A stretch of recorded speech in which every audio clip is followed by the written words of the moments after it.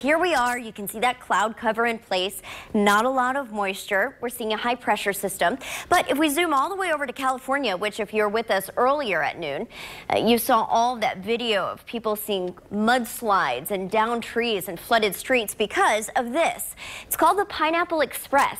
It's an atmospheric river and it picks up moisture from one spot and it launches it to another spot. So places like California, which usually doesn't see a lot of rain, is actually getting all of its moisture from Hawaii.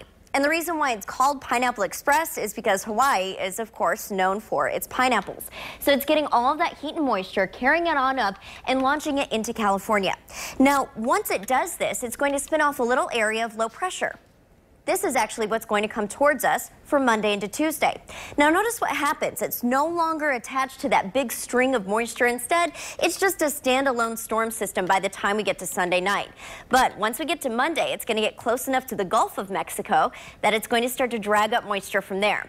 So California has been seeing rain on the matter of inches. We're only probably going to get about a quarter of an inch of rain out of this system, even though it's coming from California and even though its origins are still from the Pineapple Express. And along with all this, we get the warmth of California. So we get all the bonuses and very little of the drawbacks.